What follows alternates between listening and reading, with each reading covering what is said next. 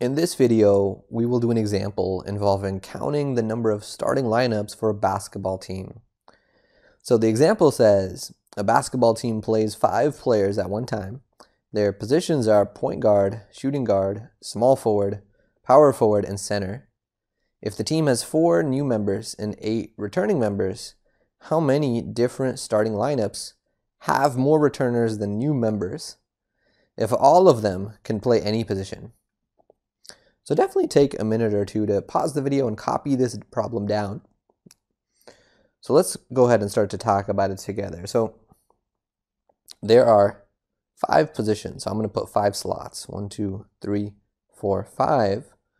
And I'm going to call point guard PG, shooting guard SG, small forward is SF, power forward PF, and center C. And I want to mention that when the question is asking for these different starting lineups, well, starting lineup is who starts the game. Because over the course of a basketball game, different players might be in the game, but a starting lineup is about who, which of the players get to begin playing the game, which of the five players get to begin. So because the question says, how many different starting lineups are there that have more returners than new members? There are a few different ways that could happen. Like you could have all returners and zero new members, but you could also have something like three returners and two two new members. So what this suggests is that we consider some cases in our problem. So we are actually going to have three cases here. So the first case is uh, the fewest number of returners I could have is three. We could have three returners. And two new members. We could also have four returners. And one new member. And we could also have five returners. And zero new members. Those are all the cases where we have more returners than new people. If we had less than three returners, we would have more new people than we have returners, and we don't want that. So these cases are what I'll call disjoint. And by disjoint, I mean they can't happen at the same time. So if I'm in case one and there's three returners and two new people who are going to start the game, I can't also be in case five at the sorry case three at the same time, where five returners and zero new people have started the game. And as we've seen before, when we have these disjoint cases, we will, after we work out how many different lineups are in each case, we will add at the end of the problem. Okay, so let's look at these case by case. So let's look at case one first, where we have three returners and two new members. And let's think about our strategy here. So for strategy,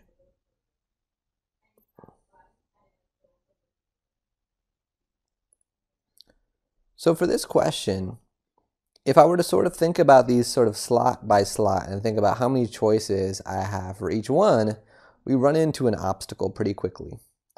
Like, for example, I don't know whether a returner or a new person is going to go into this first slot because the question says all of the players can play any position. So, for example, if I picked one of the returners to go into this slot, well, now I still need two returners and two new people to occupy the remaining spots and I don't know who's going to go where, so that can happen in a bunch of different ways. And I would still need to go back and consider, well, what if I put a new person in the point guard slot? Because if I did that, there's one new person left to place and three returners to place. And there's a bunch of different ways I can do that. And then, moreover, I have to then think about, well, which of those new people is going to go in and which of those returners is going to go into those three spots. And it just, we get into a lot of cases. So I don't want to think about this sort of position by position. Instead of that, I want to think about this a little bit more holistically. So for my strategy, let's first, because I know I have three returners and two new people, let's count first the number of ways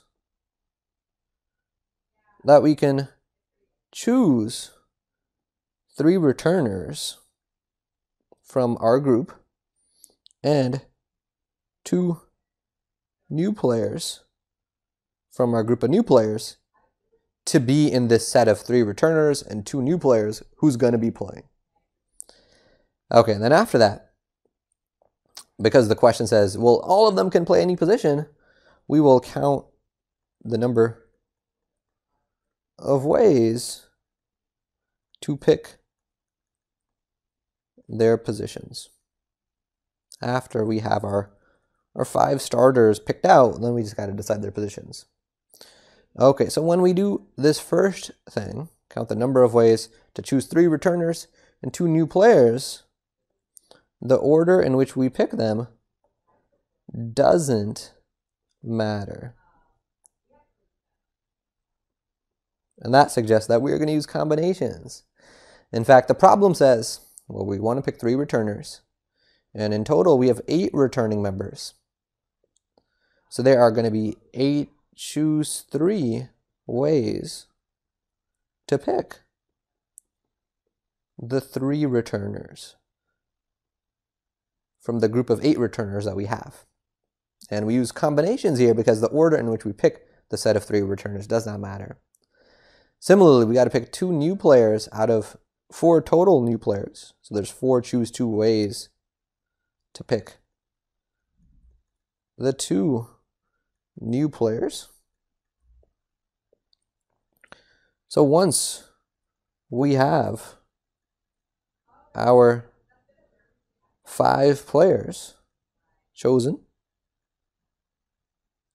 we must decide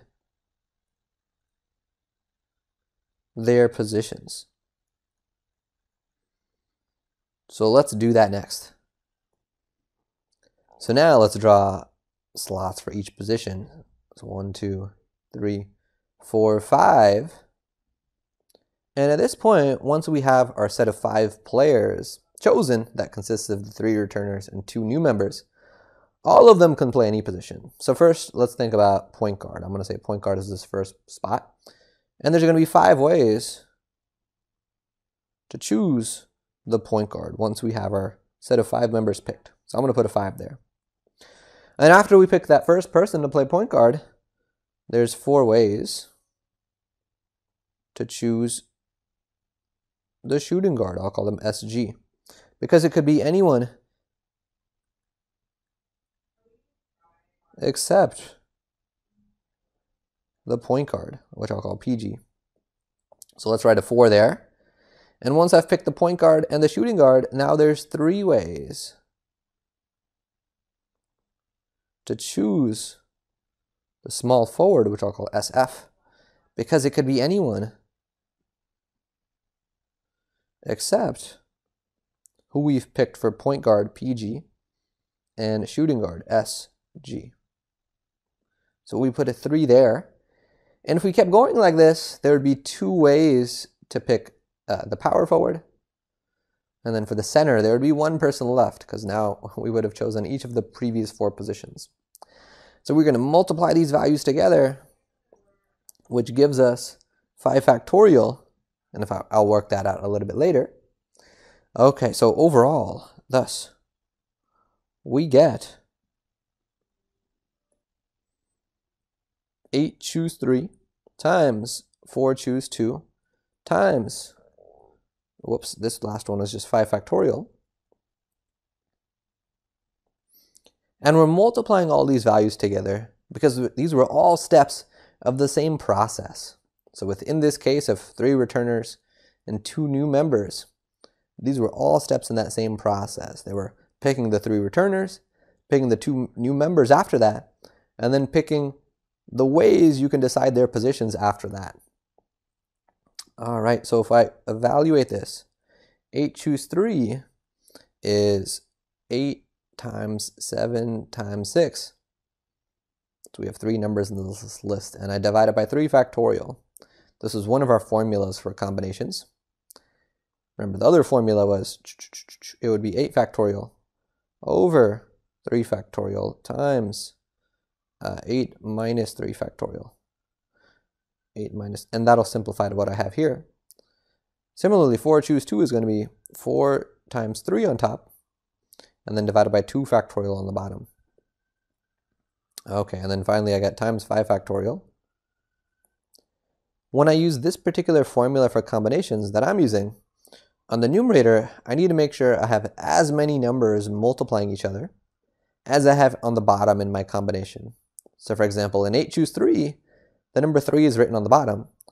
So in my product on the top here in the next line, I need to have three numbers multiplying each other to refer to the fact that I'm choosing three, three different uh, people or three different elements.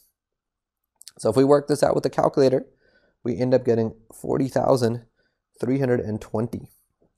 So that's what we get from case one, this many lineups. Similarly, remember, we still have case two. Remember, case two was, what if we had four returners? And one new person. And then case three was, what if we had five returners?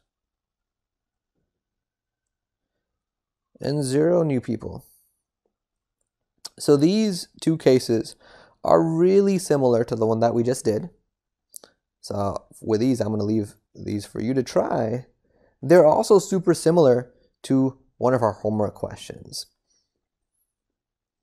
But I will just tell you what you'll get after you work out both cases.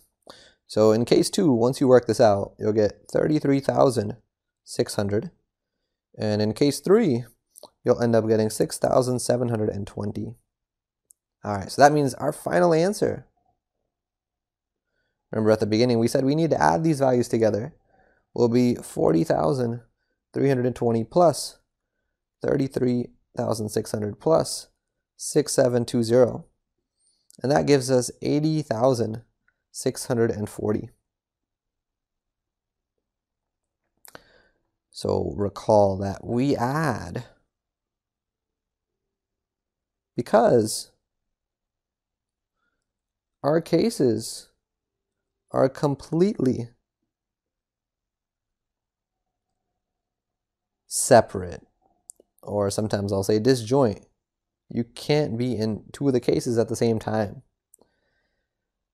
The conceptual reason for this,